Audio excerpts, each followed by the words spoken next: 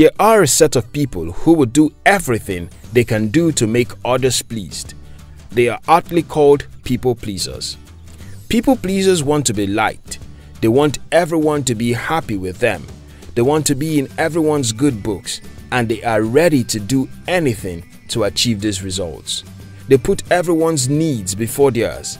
They always say yes to whatever people ask of them and they are almost addicted to being needed.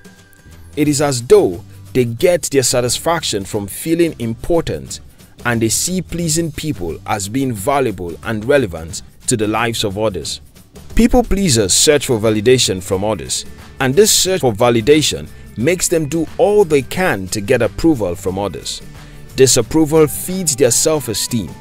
They are always worried about others' view of them and work hard to appear helpful to everyone.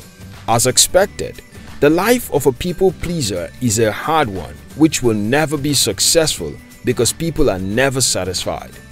People tend to take for granted whatever is always freely given like the help of a people pleaser with their time and other resources. Most often than not, the life of a people pleaser is a miserable one where the goal is never achieved and the work is never done. Aside from being an unsuccessful one, the life of a people pleaser is an unhealthy one and could lead to many adverse effects. Despite the feeling of misery, people pleasers might find it hard to break the cycle and say the first no, or they may be guilt-ridden at the mere thought of not being there for someone who they think needs their help.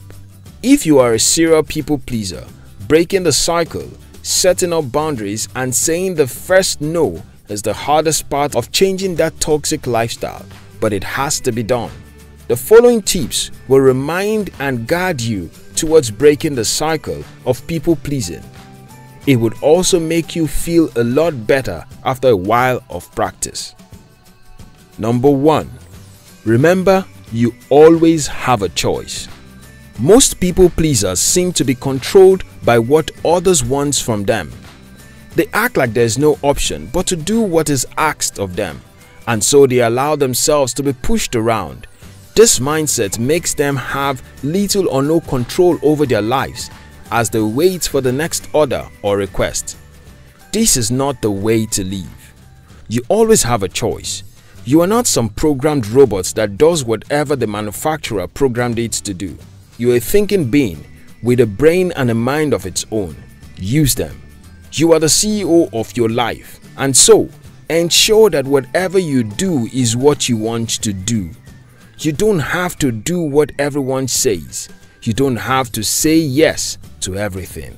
As CEO, you are to ensure that what you do is the best for your life. You are to make the best decisions that will show that you are in control of your life. You always have the choice to say yes or no, or maybe. The power is in your hands and not in the hands of everyone else. Quit letting them control you. Take charge of your life. Number 2. Set your priorities. Sometimes we do everything because we have no specific plan on what we should do, and that is most times the case with people pleasers. You might have a list of what you need to do for your life daily, you are to arrange these items in their appropriate priorities and ensure you stick to them. Do not let any other request or order interrupt the flow and add nothing in between your list until you have done all that you need to do for yourself. What this does is that it ensures that you have done what needs to be done for you and you have channeled your time to something that makes you a people pleaser to only yourself. Also, it leaves you less time to spare when others come asking for favors.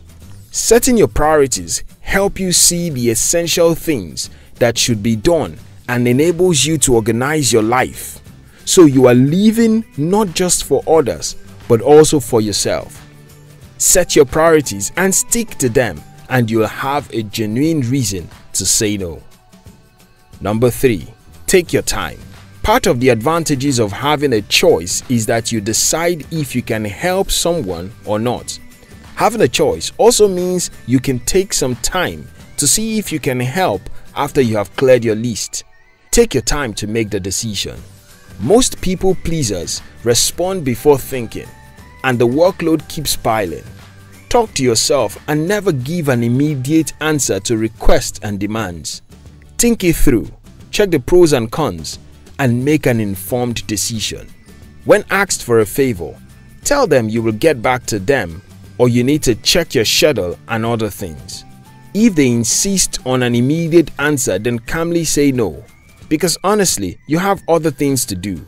It is better to say no than realize that you can help than saying yes and seeing that you can't. Don't rush to give responses because based on your track record, you will say yes and go back to the cycle of people pleasing. Breathing. Take time to think about it and check your list of prioritized items and see if you have the time, the energy, and other resources to spare for the request. Take your time in giving a response. Number 4. Set your time bounds and stick to them. Another way to set boundaries and stop being a people pleaser is to set time bounds for when you are available to help others. So, if you decide to help a few people, you give yourself a time frame for focusing on these tasks and once the time is up, you go back to doing things for yourself. Aside from this giving you a balance, it also keeps you in charge and the usual hopelessness that follows many people pleasers would lose its hold on you. As you are decisive in setting your boundaries, it is important to note, however, that it is one thing to set time bounds and another thing to stick to it. Start with limits you can handle and slowly get bolder so you don't feel that you have failed yourself. Set time bounds and stick to them. Number 5. Remember no is not a bad word. People pleasers find it almost impossible to say no, and that is the foundation of their challenge. It is as if they see the word no as a bad word which should not be used. Always remind yourself that saying no doesn't make you a bad person. Instead, it shows that you know what you want for your life and you are realistic and thoughtful to yourself. Every human has a right and choice to say yes or no. Don't relinquish this right just because you want to look good in the eyes of others. Say no when you want to, say no when you have to, and say no when you need to. It is not a bad word.